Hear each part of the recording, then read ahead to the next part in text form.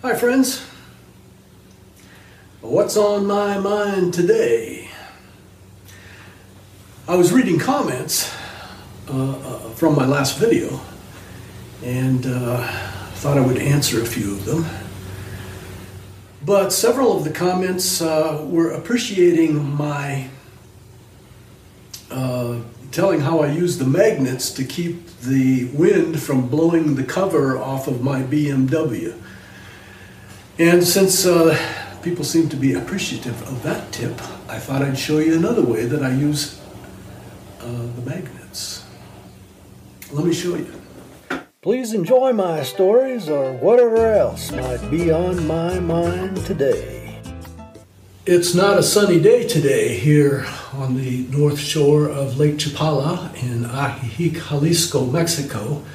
But when it is, the sun shines up there in the morning and comes right down here and blinds the side of my head while I'm on my computer. So I use these magnets to shield the sun with a curtain. And I guess we could just have a curtain here, but this is what I do. And I use those magnets to do that.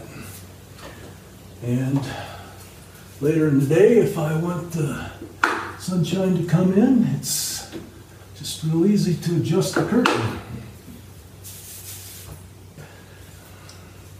That's what I use those magnets for. The magnets I'm talking about are these. They're called neodymium. I don't know if I'm saying that right. It's uh, N E O D Y M I U M. And you can find those uh, somewhere. I think there's a link down below in my Amazon page. Um, they cost about a dollar a piece, and you can buy six or ten or a dozen of them. And all of the uses I've found for them, I'm just really sold on those things. Uh, if you want to use my Amazon link, that's great. If not, I'm probably not going to make that 18 cents if you buy a dozen of those. I had a plan for today's video. All week, I kept a piece of paper and a pencil on my dining room table and I made notes about all of the random thoughts I had all week. And I sat down today to read my random thoughts and I came up with a life lesson. The lesson that I learned is that all of the things that I thought were important a week ago aren't important anymore. the news cycle has moved on. And uh, I think that is a life lesson that you shouldn't get too excited about things, whether it's politics or terrible things going on in the world or even happy thoughts. A week from now, probably won't be important. Time to move on. So, anyway, I'm not going to read you and develop all of the random thoughts that I've had during the week because, as I said, most of them just don't seem important today. Uh, I did circle a couple of them. Uh, people have been giving me a bad time about using too much bleach to wash my vegetables. And uh, I agree. If you watch my video about washing vegetables with bleach, or washing all of the things that I ordered from Walmart with bleach, I use way too much bleach. Uh, but let me back up about 18, 19 years and tell you why I do that. Uh, I don't actually use that much bleach all the time, but we do wash our vegetables here in Mexico with bleach water. Uh, I don't use that much bleach in that spray bottle I'm using to wash off those things. Um, it's way too much bleach if you can smell it that strongly and it's slimy on your hands when you're doing it. We use a dishpan full of water and a few squirts out of that bottle into the whole dishpan full of water. And we've always washed our vegetables that way because here in Mexico, um, they still use DDT and other even worse carcinogenic compounds on their agricultural fields to control insects. And you need to wash that stuff off before you eat your vegetables here in Mexico. The ant powder that you see me uh, spraying, uh, not spraying, but powdering the fire ants with, and uh, the leafcutter ant nest, that's a very strong carcinogenic chemical sold here for agricultural use. I buy it in a 30 kilo sack at an agricultural supply store in Jocotepec. And uh, it's a chemical that's banned in 50 countries, including the United States. So, anyway, wash your veggies. The other reason that we wash our vegetables here with bleach, or there's a commercial product you can call uh, buy, I think it's called Microdyn or something like that. People wash their vegetables with that because um, there are other things here that are just as bad and just as dangerous as uh, industrial chemicals agricultural chemicals on the vegetables, and that is uh, amoebas. Um, you don't want to ingest amoebas. If you want to know more about it, Google it. Um, anyway, that's what I wanted to say about uh, the comments about using too strong a bleach in washing, washing my vegetables. We have long before the coronavirus washed our vegetables here in Mexico for very different reasons. And um, even after the virus is gone, we will continue to do so. Uh, another one I uh, circled here in all of my two pages of random thoughts is about the post office. And um, I don't want to make a political statement about the post office. I don't care if you're a Democrat or a Republican or what you think about this problems with the post office and the postmaster general being grilled in Congress about the problems. He claims that he's doing those things for um, cost reduction uh, purposes in reducing the number of machines at post office and cutting um, overtime hours and that it's a cost-effective thing. And uh, just a couple of thoughts. Number one, the post office is not a business. The post office is a public service. Um, creating the federal highway system in the United States was not cost effective. It was something that we paid for the roads in your local town are not something that are cost effective. They're something that the government pays for with your tax dollars. Um, the military is not something that's cost effective. It's something that we pay for as a service for our uh, country with tax dollars. The post office is not a business, it's a public service, and yes, it costs money. Now, I got no problem with making it more cost effective, but here's my one random thought for the day. I have a friend up in uh, Indiana, and she sells things on the internet. Um, it's not it, it's not cupcakes, but it's a perishable product like that, and I'm not going to tell you what it is. But she mails things out and she uses that part of the postal service that guarantees delivery in a certain amount of time she told me two things have been happening since July. One is that the post office guarantees that delivery, and if it's not on time, she gets her postage back. And it's like three, four, five dollars per shipment. And she's fairly successful at this. She does a lot of shipments every day.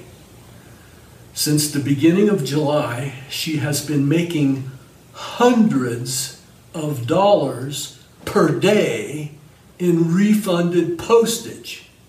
Now, her customers are paying for the postage, so she's getting paid. She pays the post office. The post office, because it's not getting delivered on time, is giving her the money back. Hundreds of dollars per day. She's one small business, the backbone of the economy in the United States is small businesses. More and more, more of them are online. So the postmaster general thinks he's saving money by letting the mail be late. Just one thing that flies in the face of that being a cost cutting measure. Enough about that. And like I said, it's not a political statement. I think that's a business statement. Uh, as I said, these are random thoughts, so there's no uh, connection between each of these random thoughts, and this one is about uh, one of my experiences with the police. A couple of videos ago, I was talking about my experience with the uh, motorcycle cop here in Chapala, and when he was directing traffic, getting the um, getting getting him to be distracted by me having my passenger fake throwing up in a bag as the policeman came to the window and said we were going to the doctor. Anyway, that's another story. You can go back to my video about uh, touring Chapala if you want to see that. Another life lesson about not getting too excited, I guess. I was at a Fred Meyer store in Hillsboro, Oregon, with my little black Suzuki Sidekick. That's the tow car for my motorhome. Uh, visiting our daughter in Oregon, and as I got out of the car, I very consciously saw that I'm parked right next to the cart return. So I've mentally decided I can return to my car. And I go into the store, get my bags, I come out of the same door, and uh, it's not there. The space by the cart return is there's no car there. Somebody's stolen my car. So I called the police and reported stolen, and you know, name, address, license plate number that I have memorized, and everything description of the car, and I called my daughter, and she and my wife Lynn are on their way to pick me up. I can't believe this is happening, that somebody has stolen my. It's really an old car, not worth stealing. Why would somebody steal it? Although um, those uh, Suzuki Sidekicks with a, a hard top are uh, quite desirable as a tow car. But anyway, I decide to walk down towards the entrance to the parking lot where my daughter and Lynn will be coming to pick me up. And as I'm walking down past the front of the store, I realize there's another front door. and yes, I've come out of the other door and my car is right where I left it by the other cart return.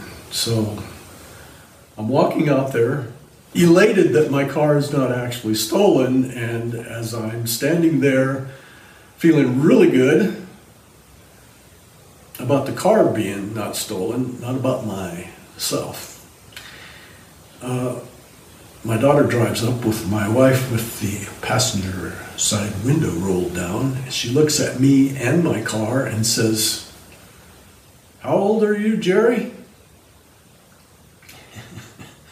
Now I have to call the police back and report that uh, I found my car and because I don't want to drive on down the street and have a cop stop me and have to have me explain why I'm driving a stolen vehicle. Uh, the cop, much to uh, the cops, 911, a dispatcher actually, and she is extremely gracious about this and says, it's okay, sir. You would not believe how many times this happens that people can't find their car in the parking lot and report it stolen, only to call us back in a few minutes that they have found it. So, anyway, uh, how old are you, Jerry? Don't get excited. Things are probably going to be different in a little while.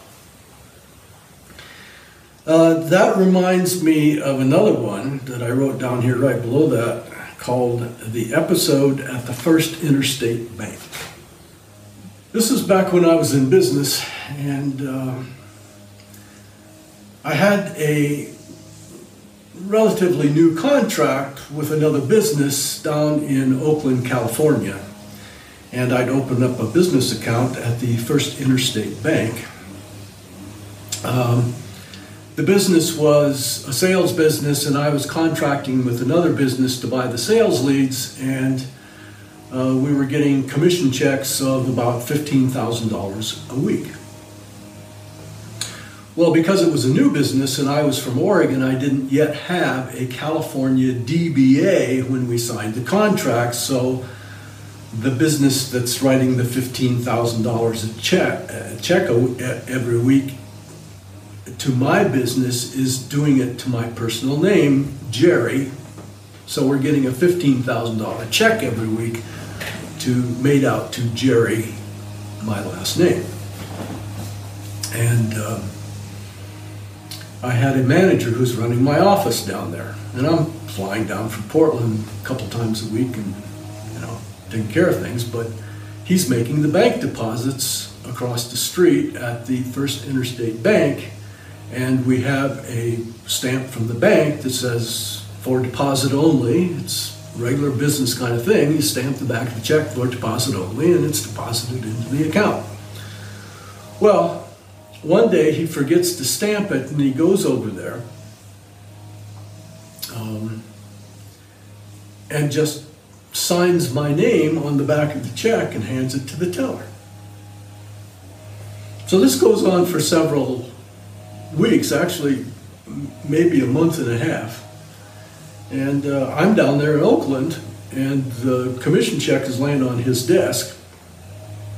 And I pick it up and say, hey, I'm going to lunch, I'll, I'll deposit the check. So I go over there and I walk up to the teller and I turn the check over and I sign it right in front of her with my name. Because it's my name on the front of the check. And she says, just a minute, and goes somewhere, and pretty soon the manager comes out and he says, Would you step into my office, please? So I do. I step into his office and he asks me to sit down, and he leaves and shuts the door. And I'm sitting in there for about 10 minutes, and thinking, What the heck's going on? And finally, the manager comes back and he has a policeman with him. And they want to know uh, why I have tried to forge a check or sign a check that's not mine because the teller, she knows Jerry because Jerry's been in there every week signing the check in front of her and she knows Jerry. And this, and I'm not Jerry. Jerry is Rick, the guy, my manager who's been signing the check with my name. Well, it doesn't take very long for us to figure out what's going on, and I have enough identification to prove that I am, in fact, Jerry, who has opened up the account at the First National Bank uh, under the business name so and so. So that gets all straightened out, and uh, the officer leaves, and the bank manager is apologetic, although not extremely apologetic, because the problem was that my manager was doing something that he shouldn't have been doing. Uh, the end of the conversation is that I tell the bank manager if anybody comes in here and wants to deposit $15,000 in my account, please just take the money and ask questions later. Uh, First Interstate Bank, Oakland, California. Uh, nearly arrested for signing my own name on the back of my own check. Well, enough old stories. Let's uh, talk about a couple of uh, comments and questions that I'd like to talk about. Uh, loved your videos, always enjoy the drives. Uh, hope they got the water leak fixed. No. They didn't get the water leak fixed. And I got a comment from another uh, person who lives up in Aguas Calientes who said that uh, he's had a water leak that's gone on for years and nobody's fixed it. So I may just have to go out there and shut the water off out in the middle of the street and fix it myself. Uh, it's not a big problem for me. It's not going on my water bill or anything, but the weeds in front of my carport sure are loving it. Uh, I enjoy making a big garden. Did you ever grow veggies? Yeah. Uh, when we were first down here, because there are essentially three growing seasons per year, uh, we had big gardens. Uh, Lynn was quite the gardener. Even back up in Oregon, we always had gardens. Even when we lived in the city, we'd have big gardens. In one of the rental houses when we were younger, um, before we had kids and didn't have better things to do. we had a rental house and we rototilled the whole backyard, rototilled all the grass under, and uh, planted a garden. Planted every kind of vegetable we could come up with. Uh, the landlord wasn't too happy about it, but we had a lot of vegetables. Anyway, yeah, we planted uh, um, lots of vegetables down here. The one thing we could never um, make grow correctly was tomatoes because there's some organism in the soil that makes them all get misshapen. Uh, we were never successful at growing tomatoes. One time, Lynn and I had a, a contest. Uh, she was going to grow them in the ground, and I was going to grow them in a pot. And I went to Home Depot and bought a whole bunch of special Miracle-Gro potting soil and tomato vitamins and whatever. And um, they still got that same ugly, misshapen, I don't know, never have been successful growing tomatoes. They do it here across the lake. There's huge, big tomato fields. But we never could. But all the other vegetables, uh, yeah, we used to have a lot of vegetable gardens. And then, um, uh, well, Lynn kind of got too down in the back to do gardening, so that kind of went by the wayside because it was her passion, not mine. And then for a while, we paid um, Jesus, our handyman, to do the gardening, and we split the vegetables with him and let him use our gardens. Uh, they're just weeds now. We don't garden anymore. Uh, basically, because uh, Lynn wasn't able to continue gardening. Um, Jesus is no longer with us. And I figured out that um, they sell each and every one of those vegetables every day at Walmart. So, yeah, did we ever grow vegetables? Yeah, we used to grow a lot of them. You're amazing. You're living a dream. You know, we really are. Uh, what's your favorite Mexican food? Carne en su jugo. Carne en su jugo, the literal translation being meat in its juices. It's uh, essentially soup. It's bean, beef, and bacon soup, and then it's garnished with fresh chopped cilantro and um, uh, chopped onions. It's um, a dish that is my favorite dish, and I've even learned how to cook it at home and do that so quite often. I even make it when we're traveling in the motorhome.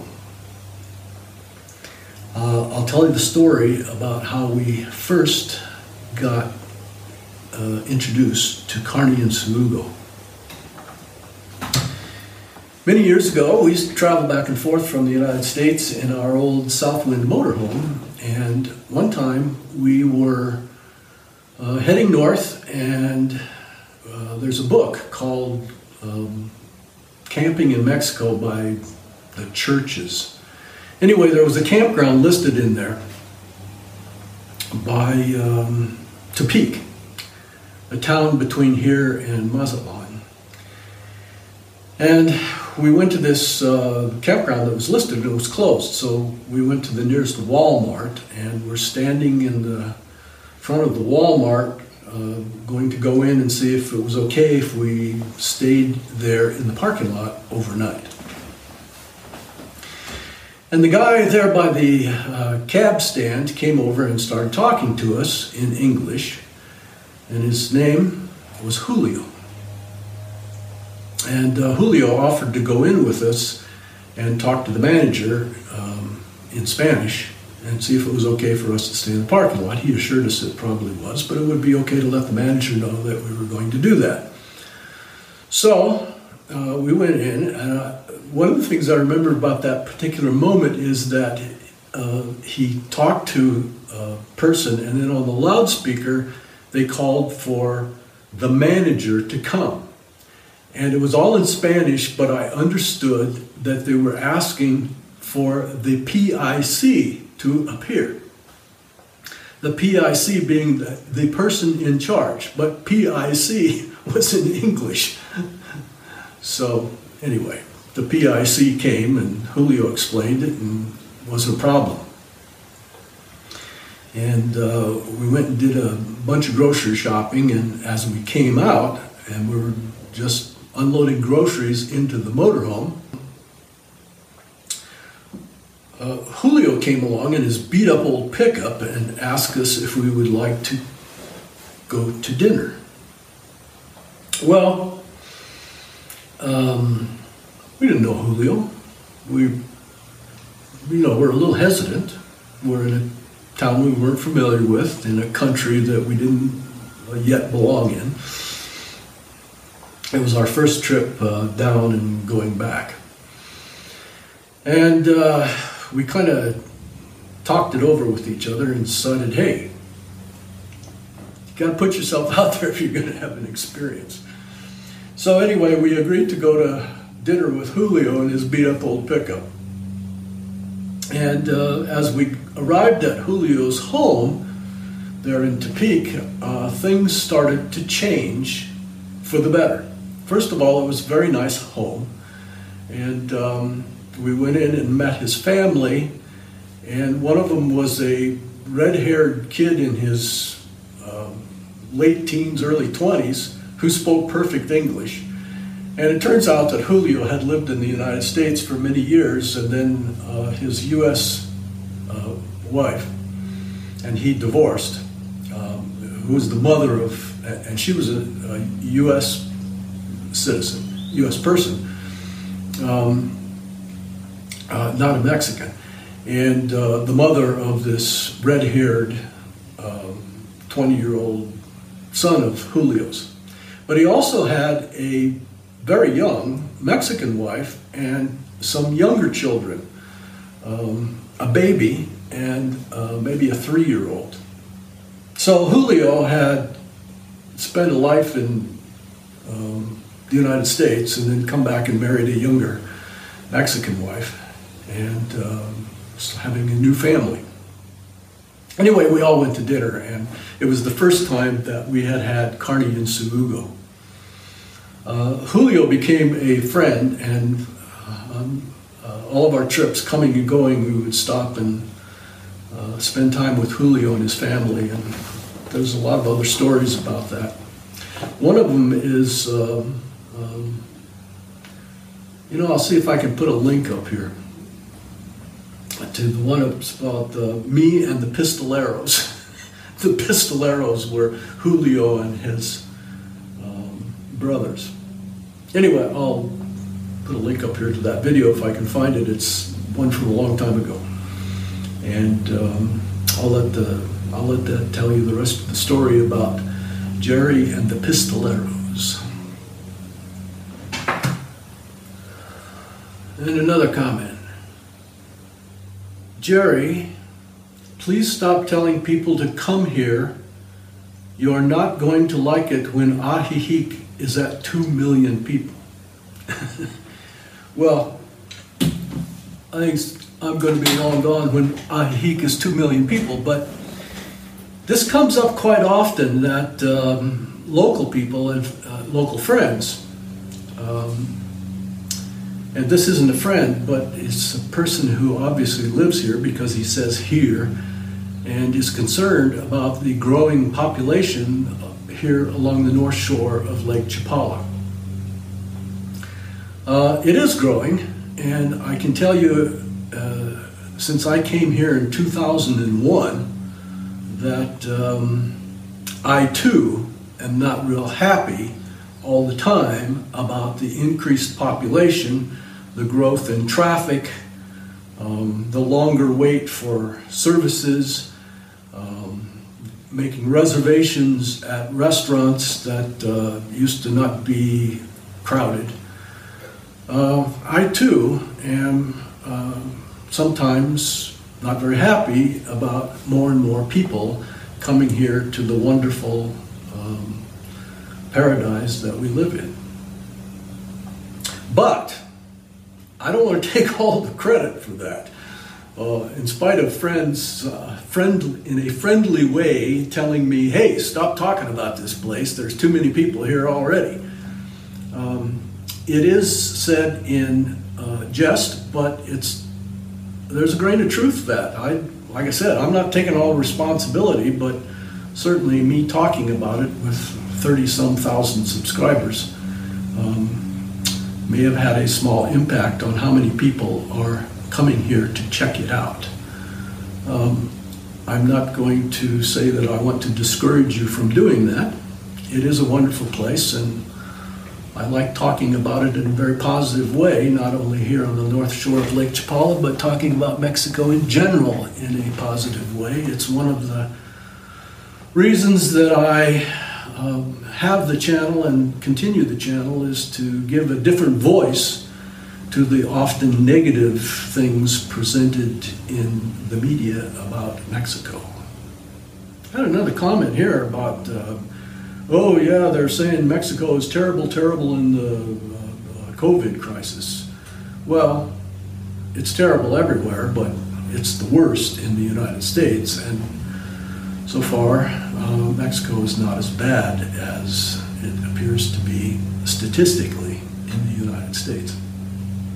So, if you're hearing that uh, it's worse in Mexico, um, my experience and my reading of the news is that that's not actually the case.